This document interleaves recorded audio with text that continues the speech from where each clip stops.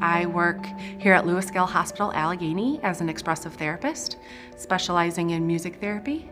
And I run a lot of the group therapy programming up on the geriatric psychiatric on the fifth floor. I utilize music as a catalyst to help our psychiatric patients reach their optimum functioning so that they can go home and live a good life and live a life that involves uh, less isolation and being around people. Every patient is different and every need that they have can be slightly different. I would think sometimes it's the hardest part is just developing that therapeutic rapport within the first day so that they feel comfortable enough with me to talk about what their needs are.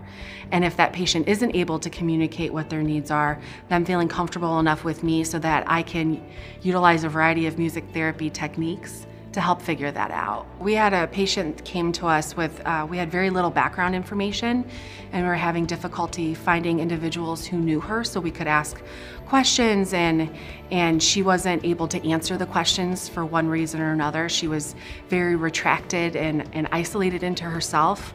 Um, you know, we try to talk to her and, and, you know, she'd kind of back away into a corner and just show that she was really kind of anxious and it really looked like she was nervous talking to us. Um, and she just, she was able to speak, but everything she was talking about was within her own head. She, it's like she didn't realize we were all there.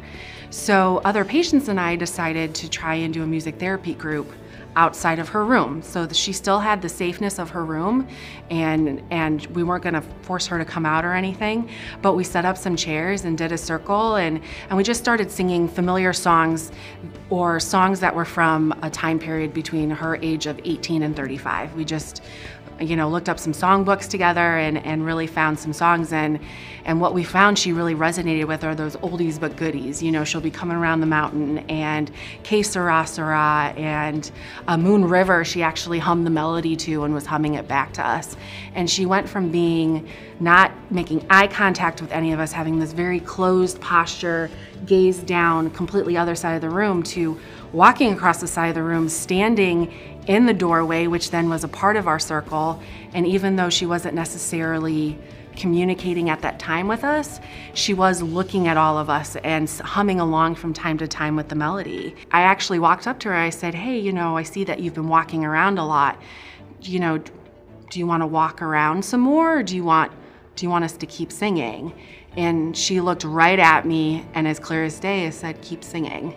And so we, we sang a bunch of songs that she was able to sing. And after that, I was able to walk around the halls with her and ask her questions about her childhood and what memories the music brought back. And I found out a lot of information about her that I was able to then bring to the nurses and bring to the doctors so that they were able to bring up subjects with her to make her feel comfortable with them so that they can then develop a rapport with her and really just help her with her treatment, help her be on board with taking medication, help her um, understand that and just be more comfortable.